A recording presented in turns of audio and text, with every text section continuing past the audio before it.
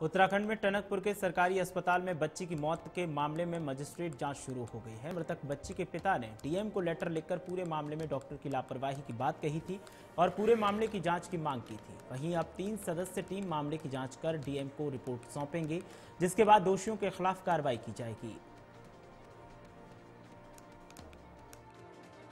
उनके बच्चे की डेथ हो गई थी। उस डेथ के संबंध में उन्होंने शिकायत पत्र डीएम साहब को भी भेजा था। तो उस संबंध में जो मजिस्ट्रेटी जाँच चल रही है, वो आज से प्रारंभ हो चुकी है। जाँच अभी प्राथमिक तौर पर है। जैसा कि आप भी देख रहे हैं कि आज ये जाँच प्रारंभ की